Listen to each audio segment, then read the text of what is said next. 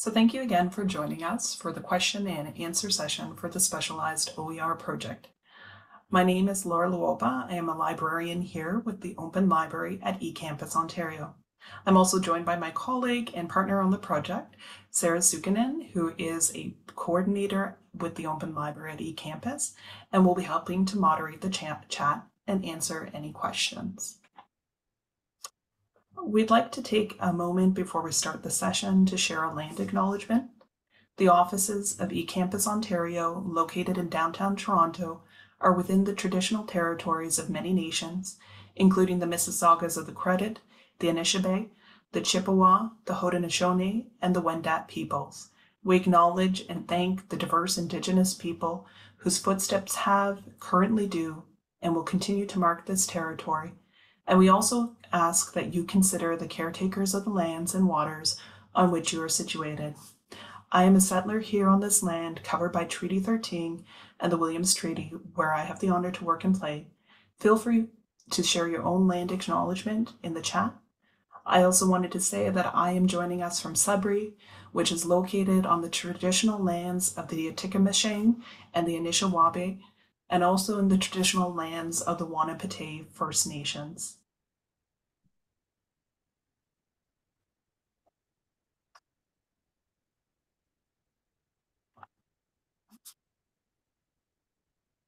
For our agenda today, we will be talking about our programs and services for the Open Library, about the Open Library itself and open educational resources, then focusing on the specialized OER project, we'll be sharing our contact information and having a question and answer portion.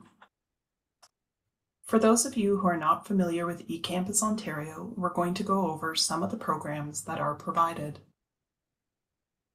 eCampus Ontario, we develop platforms, new programs, services, and support systems that address sector-wide challenges. We provide the necessary learner and educator supports to foster rich, humanized, inclusive, and successful educational experiences within the realm of virtual learning. From planning for possible futures to finding strategic partners, developing talent, through to launching new programs, eCampus Ontario is a platform to help you navigate digital transformation in education.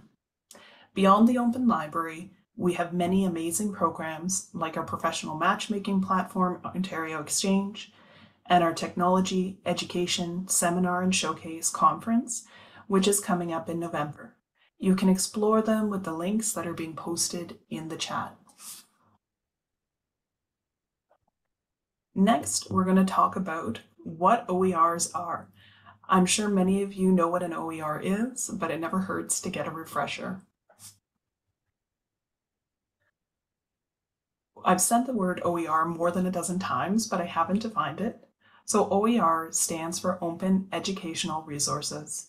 We usually use David Wiley's definition that says that the term open content and open educational resources describe any copyrightable work that is either in the public domain or licensed in a manner that provides everyone with the free and perpetual permission to engage in the 5R activities retain, revise, remix, reuse, and redistribute. Just to go in a little bit into the five R's, retaining means to make your own and to control a copy of a resource you find in our catalog. Revise, meaning you can edit, adapt, and modify the resource. Remix, you can contribute your ideas with other existing material to create something new. Reuse, you can use an original work, revised or make, remixed copy of your resource and make it public for example, in a presentation. And finally, redistribute, which means you can share copies of your work, whether it is an original work or a remixed resource, to others in your community. For more information on the 5R activities and a general summary about OER licensing and the Open Library, you can watch the webinar OER and You. We'll be posting the link in the chat. What an OER can look like is vast. It doesn't have to look like a textbook. We have a lot of different OERs in the Open Library catalog. We got a list of files and media types that continue to expand from simulations to assessments to common cartridge courses or podcasts and textbooks, or textbooks on how to make podcasts, video recordings, interactive activities, and VR. OER is not just a book. Really, there's so much more to OER than a format.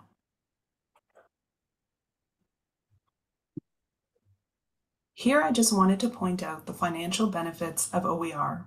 We know that what a burden purchasing textbooks and other learning materials can be to learners and educators, and OER can help tremendously with that. So far, we have helped over students save over $18 million, and this number is based only on reported adoptions, so it is likely much higher than that at the moment. Now for the main event. We're going to talk about the Specialized OER and Ancillary Resources project. Over the summer, the Open Library team conducted an internal environmental scan to determine which subjects in our catalog could use more attention. We evaluated provincial trends such as employment and education trends and compared with other external collections. From this, we concluded that to have a more well-rounded collection, we would benefit to the benefit our stakeholders, we needed to fill in some gaps, and this is where the specialized OER project came from. These are the main targeted areas that were came out of the environmental scan. Business, skilled trades, engineering, and the sciences.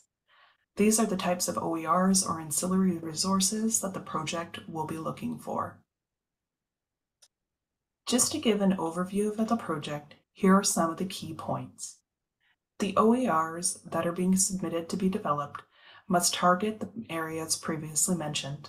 They can fall into multiple subject areas. For example, you could have a resource that has a heavy amount of biology and science content, and while it is, but may also be cataloged under health sciences. You just need to demonstrate how it can fall into the subject areas. The second point is that funding is available both to individuals and project teams. In both scenarios, you must have a lead who is a member of an Ontario post-secondary institution and a member institution of eCampus Ontario. We are uh, excited to be able to accept um, submissions in English and in French. Also, the type of OER format is up to you, meaning that as we saw before, the format of the OER could be a press book, a video, a virtual reality experience, an H5P, content. It's really up to you. Additionally, you must make the material available through an open license, meaning you can choose one of the licensing options available from the Creative Commons um, link you will find in the chat. And finally, all approved projects will be catalogued by the Open Library staff and made available through the eCampus Ontario Open Library. Here's the timeline of the important dates of which you should be aware. In particular, relating to these dates, I just wanted to highlight that the application deadline is Friday, September 29th, that letters of offer will be issued on October 9th, and that we would need those letters returned by October 12th. And finally, that the project must be completed by February the 16th. In the chat, you'll find a link to the EOI that will be available for you to look over. The main application project is through a form that is attached to the EOI, the expression of interest. The form is available both in English and French. The main areas we will be looking at when the for the applications is a project plan, how the OER will impact students and faculties, and how the budget will be used. Again, to reiterate, the application deadline is September the 29th, and the projects must be completed by February 16th, 2024. During the process of creating the OER, the Open Library is also available to provide support in multiple areas, from licensing to digital tools like Pressbook and H5P, we're here to support people with their projects. A good place to start uh, looking about these topics is the eCampus Ontario YouTube page. We've posted a link to recorded workshops and sessions on there, and you may find some of these topics helpful as a resource. Um, we've dropped a link for that in the chat. So I'm going to share our contact information. As I said, we'll have a, a, Q&A session which will begin shortly, but if you have any questions that come up afterwards or as you're connecting with the application form or the EOI more in depth, please feel free to email us at open at ecampusontario.ca with questions and information.